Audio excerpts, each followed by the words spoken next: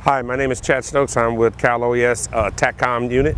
I would describe what I do as uh, mutual aid uh, communication assets to assist uh, various departments throughout the state of California to meet the critical needs of their mission.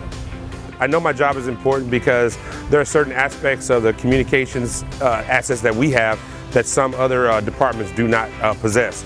But more importantly, our ability to get those out to those individuals pretty much free of charge. I'm proud of the work that I do at Cal OES because one, I enjoy the relationships that, that I make. I enjoy working with the people that are that surround me.